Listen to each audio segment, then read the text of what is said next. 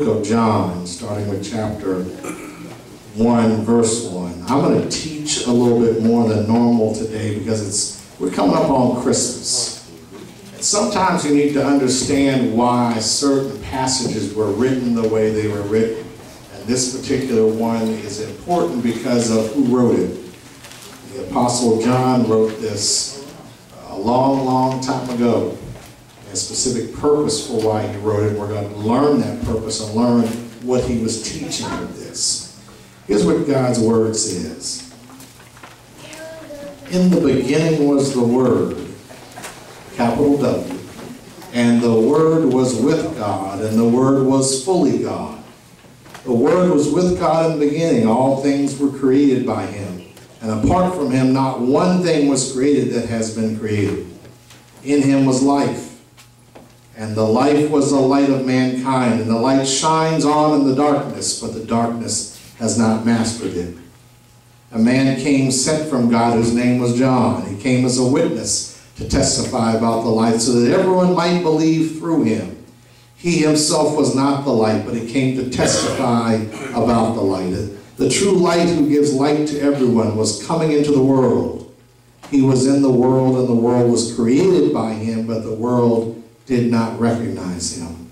He came to what was his own, but his own people did not receive him. But to all who have received him, those who believe in his name, he has given the right to become God's children.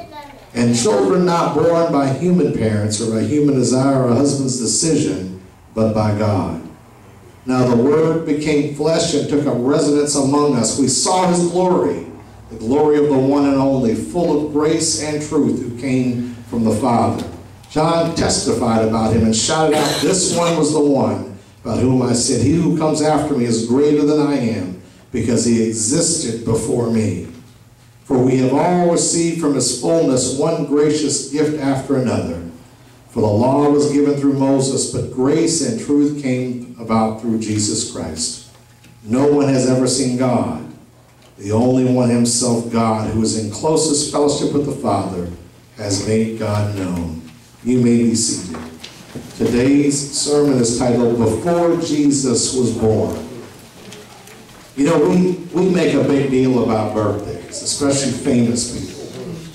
In January, we're going to celebrate Martin Luther King's birthday. And I remember the big fight to get his birthday named a holiday.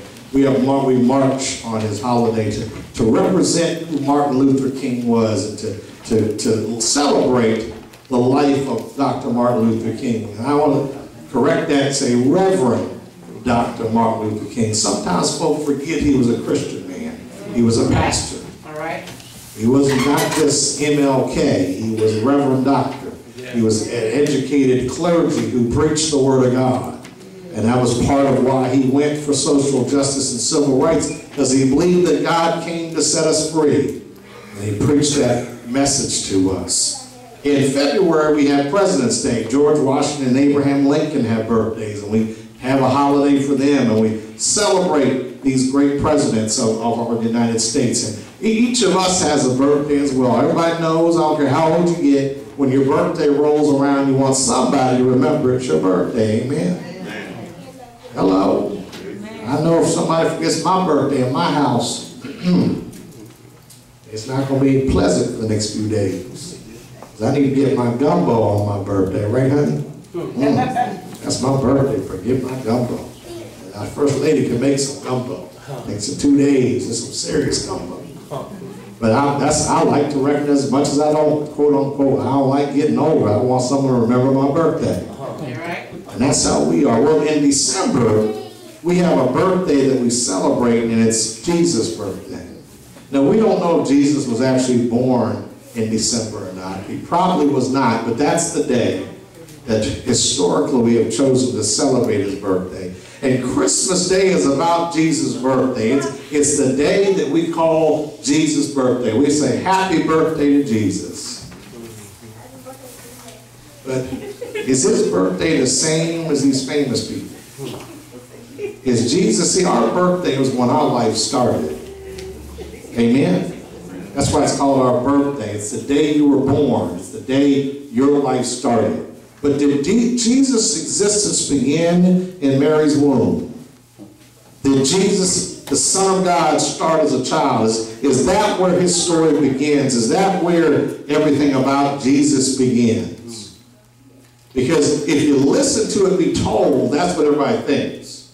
That Jesus started right there on his birthday, that his, his existence started then, that somehow that's what it's all about. That you have people even say, well, you know, there's the Old Testament, and there's the New Testament. I follow the New Testament because that's Jesus stuff. But the Old Testament, that was, that was for them Jewish folks. See, in the time of John, there was a heresy called Gnosticism. And Gnosticism was characterized by an intellectual and philosophical approach to Christianity. These were people who had become Christians but decided they, through their intellect, they were going to figure out about who God was. I mean, y'all know sometimes you can be really smart and stupid at the same time. All right. Amen. Amen. See, the Gnostics, they had simple beliefs. But their belief system wasn't the way ordinary Christians believe because they were smarter than the average Christian. They were more intellectual. They, they would look at the common Christian and say, well, y'all are just, y'all are just not quite intellectually bright enough to take our teachings. And this is what they, they, they decided to construct a philosophic system out of Christianity. And they, they were troubled about the existence of sin and evil and sorrow and suffering in the world. And they couldn't figure out why that existed, so they worked out a theory to try to explain it. Here's what the theory was. In the beginning, two things existed. One was God, and the other was matter. One was God, the other was matter. In the beginning. Now, I don't know where they got that from, because my Bible doesn't say that, but you know, we're going to play along with it for a while here. Matter was always there and was the raw material out of which the world was made. The Gnostics held the original matter was flawed and imperfect.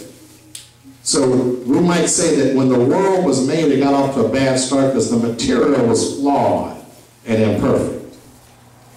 And so they went even further. They said, God is a pure spirit, and a pure spirit can't touch matter, which is impure. So we, we're going to work out a way of how creation happened without God. So here's what they said.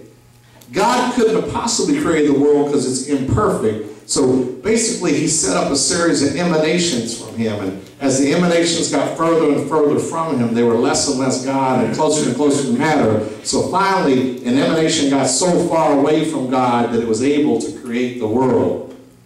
And that, that emanations, it was distance, and so it was able to, to make that. And that creator God was utterly divorced, and, and, and, and he was an enemy of the real God. Make sense so far?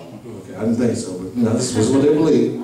They said the creator God was the God of the Old Testament. He was evil. He was not good. He wasn't a good God. And that the God, he was different and, and hostile towards the God of the New Testament and Jesus Christ. So we had two gods. We had the, the bad God and the good God.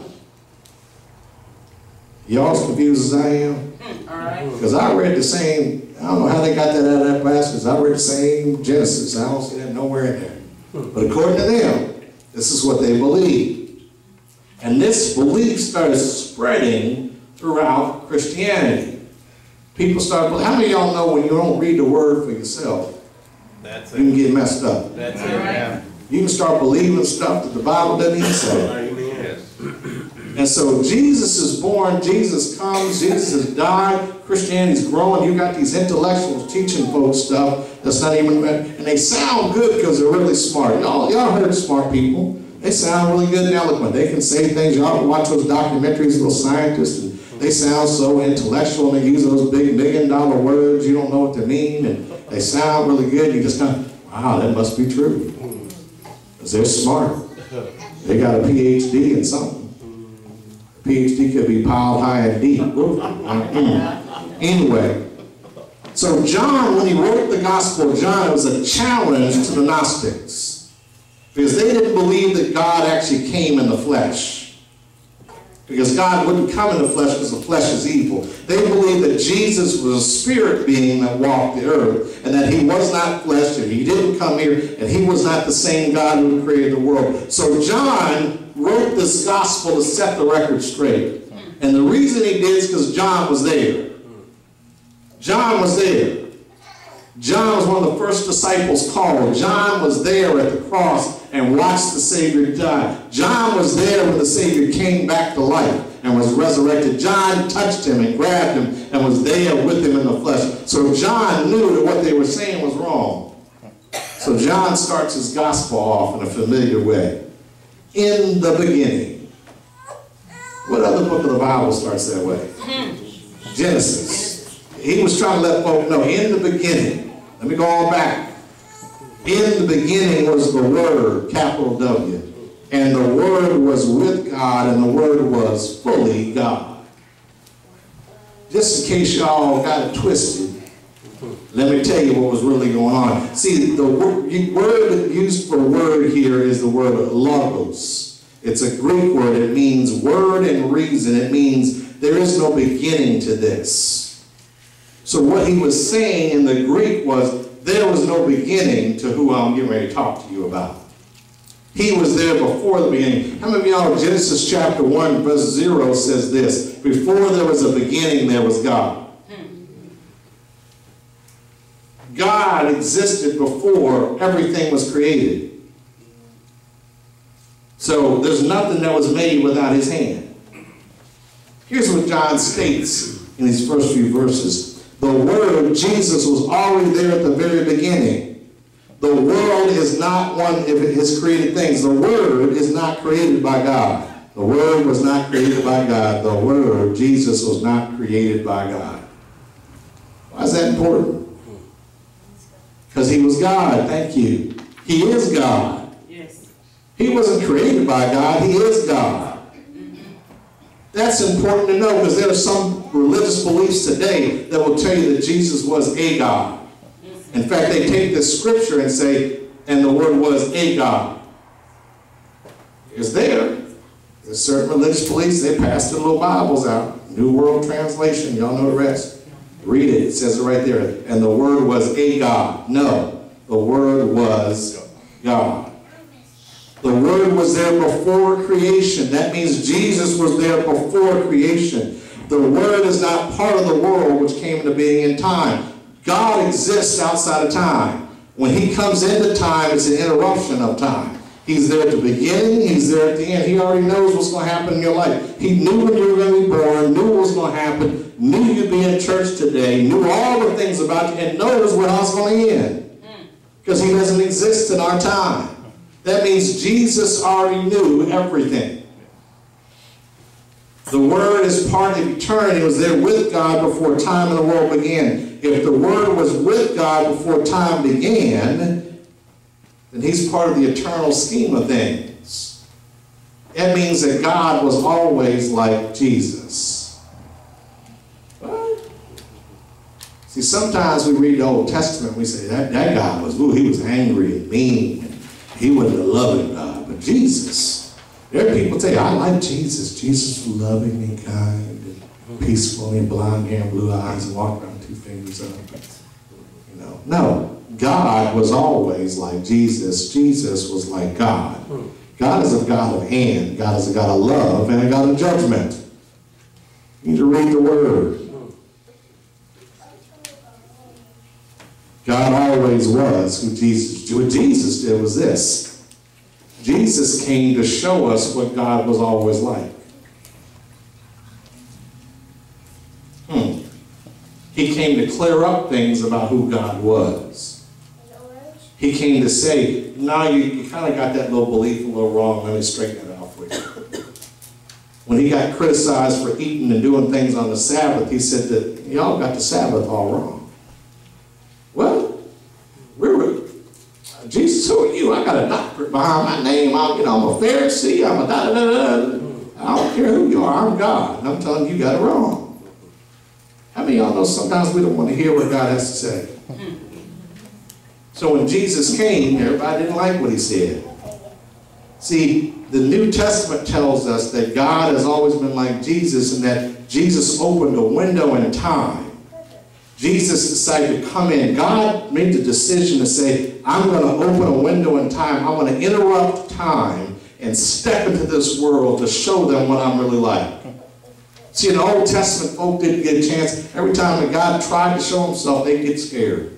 When Moses was talking to him and God would come in and Moses was like, come on, y'all here? No, Moses, you listen to God for us because God is a little too powerful. We can't take that. That's what they did. The people didn't want to hear from God. Moses, you tell us what God said. And sometimes we do that in church. Pastor, you tell us what God said. That can be dangerous. But God didn't want that anymore. He said, I want everyone to hear me for myself. I want every person to have a relationship with me because he went back to when Adam and Eve were created and Adam and Eve walked with God and talked with God and heard from God directly. And Jesus said, I want that relationship again. God wanted to get a relationship with us. Everybody say, God wants a relationship with me. Say it again, God wants a relationship with me. Reverend, what you saying? You mean the all-powerful, almighty God wants to get to know me? Yes. That's why he was born. He wanted to find out what you experienced. He wanted to find out what it was like to be born. Because remember, he was never born. Hello? So he was in the womb going, okay, this is what this is like. And when he was born into the world as a baby, he understood finally what we had gone through, what the birth process was like. And as he grew up, he got to know what it was like to walk this earth as a human, what his prized creation was going through on a regular, everyday basis. But he was God. The Word was with God. That means the closest connection there can be is between Jesus and God because Jesus is God. So if you want to find out about God, you have to listen to what Jesus says. No one can tell us what God is like. No one can tell us who God is better than Jesus can because Jesus is God. See, if I have a relationship, I'm going to tell you right now, there's nobody who exists right now today can tell you more about my wife than me. Why is that? Because I know her better than anybody.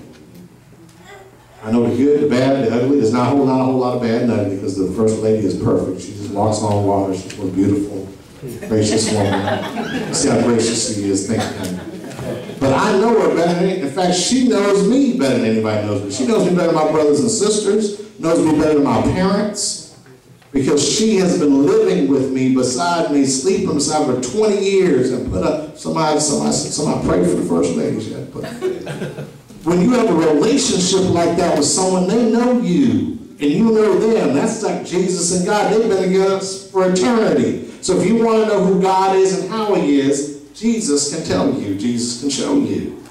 That's why he came. Because he wanted that relationship. The Word was God. That means Jesus is God, period. These people try to tell you Jesus was a good prophet. He wasn't just a great prophet. He wasn't just a good man. He wasn't just a minister or priest. Jesus is God. Period. See, that messes people up. I mean, he, he was born. How can God be born? Because he's God. He can do whatever he wants. God created everything. Jesus created everything. Because the Word, according to what John tells us, the Word created everything. All things were created by Him. Apart from Him, not one thing was created that has been created. That means that baby that Mary held in her arms was holding the entire universe in place. What? You know, when y'all hold our babies, they ain't holding nothing together, right? Our babies, they just, you know, pooping and peeing and crying, hollering, always needing something. But the baby she held, holding the entire universe together. Mm. The baby she held created the universe with his words. His words had that much power when he said, let there be light. That's what she was holding in her hands. This baby housed Almighty God. That's not like us. This baby was destined for greatness and perfection because it was already perfect. He was, here's what the word says, he was in the world and the world was created by him, but the world did not recognize him. He came to what was his own, but his own people did not receive him. His creation didn't know him or receive him. God was sitting right there and we didn't realize it was God. He messed up the religious folk. Because they kind of like God being far off so they can make up stories about him and, and create rules and regulations. And Tell folk, well, you're not worthy of God and you are. And then this, this God comes along and says, no, they're all worthy. It. What? Wait a minute. that, that person he's with, that's a prostitute he's with. Why, why you letting her, you know, does he know who she is? Yeah, I know who she is. She's one of my creations and I love her and I, she needs me just like you need me. Huh? That means it doesn't matter what you've ever done. God wants a relationship with you. He doesn't care about who your father was or who your mother was or what town you were born in. He doesn't care about all that. All he cares about is you give me your heart. I want a relationship with you. I want to get to know who you are. That's why Jesus was born. In Genesis, one of the things God talked about, he said, the child of your, this, this woman will crush the serpent's head. What do you mean by that? That's what Jesus came and did. He was born out of flesh to fulfill that prophecy. And then stepped on Satan's head and said, You no longer have victory here. The people who believe in me are going to have power and authority over you. What? Yeah. That's why he came. To give little old me and little old you the power authority to beat the enemy. Isn't that amazing? What kind of love is that? That he would come off his throne, come down to- from heaven, become born in flesh with all sitting right there and say, you know what? I'm going to let my power set aside for a bit to show them how to walk this life. Yeah. I'm going to walk it with them. I'm going to show them how to, I'm going to teach them how to be like me. I'm going to teach them to be what God wanted them to be from the very beginning. If they just believe in me, they can have eternal life. What kind of God do we serve? God who loves us. A God who wants the best for us. A God who said, I want them to have something that they've never experienced. See, Jesus came to bridge a gap. Jesus came to tell us that there's more to life than what you have. What you have is just part of life. I want you to understand who God is. I want to bridge the gap between you and God. I want you to get to know God on a personal level so you can understand how, how powerful, how loving, how merciful God is. He wants us to understand and know God on a different level, a different way. He wants us to know Him personal level. He's your personal God. He's not up there in some big mountain throwing down lightning. He's right here with you, around you, all the time. Once you accept Him as your Savior, He's in your heart. He now resides inside of you. You know that? When you decide you want Jesus in your life, He takes your spirit, which was dead, and gives it life again. So now you're born again, and now God resides inside of you. If you who's saved in here? Who, if you're saved, raise your hand. You have God residing inside of you. What? Yeah. Almighty God, creator of the universe, is residing inside of you and I. Other religions don't teach that, do they? See, our God is greater. Our God is better. Our God is, and He wants that. He wants to be, and then He wants to surround us. He left the Holy Spirit. He said, I'm going to leave. I'm going to leave the Holy Spirit to guide and teach you about all things. God will still be with you in spirit now instead of in flesh. That's the God we serve. That's why Jesus came. So Christmas Day is not about the baby. It's about a bridge between us and God. It is about us recapturing what Adam and Eve had. Relationship. Where in the cool of the day you can walk with God. When you're driving your car, you can be with God.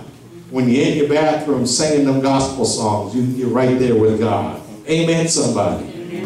When I'm going through trouble, God is right here with me.